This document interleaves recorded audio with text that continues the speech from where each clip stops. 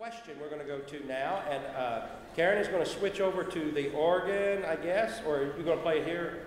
Either way, I, I think I'll go. Let's do the last two kind of with each other, just having fun.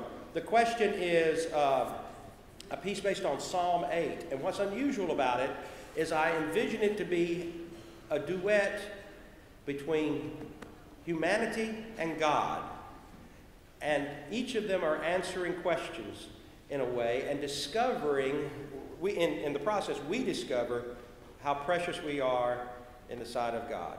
And that's kind of the essence of Psalm 8. Oh, what is man that thou art mindful of him? And that contemplation psalm is, is the heart of the piece. And then uh, we answer the question in the chorus. So see what you think. We'll do the question and community of faith. And I'm going to move down to the piano.